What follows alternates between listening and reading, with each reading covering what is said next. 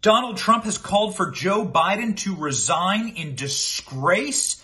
Donald Trump is wondering exactly who Joe Biden will surrender to next and if America can withstand the embarrassment of the Biden regime, further destroying our country.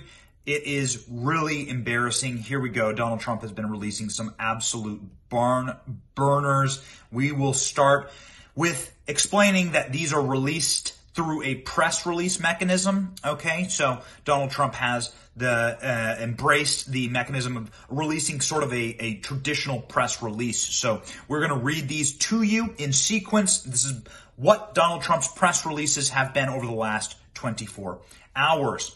What has Joe Biden done with Afghanistan is legendary. What Joe Biden has done with Afghanistan is legendary. It will go down in history as the greatest defeats in American history. That is correct and proving true.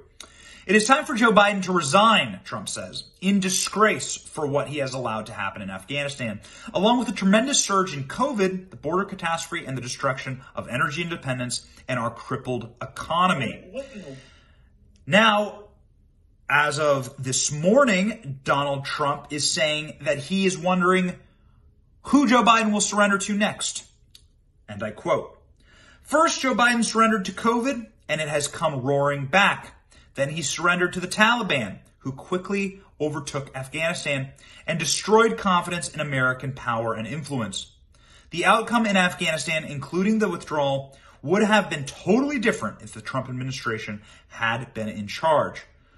Who or what will Joe Biden surrender to next? Someone should ask him if they can find him. It's brutal.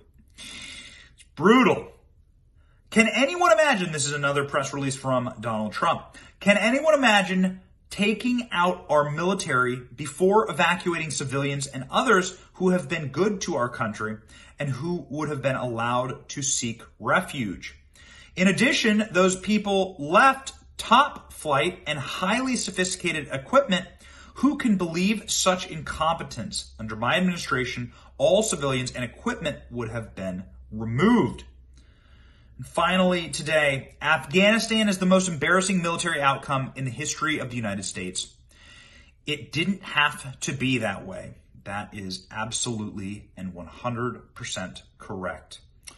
Joe Biden is the American president who brought us the fall of Saigon once more. Joe Biden was actually instrumental in the fall of Saigon originally, and now he has his own worse American humiliation, the greatest American humiliation on the military stage, perhaps.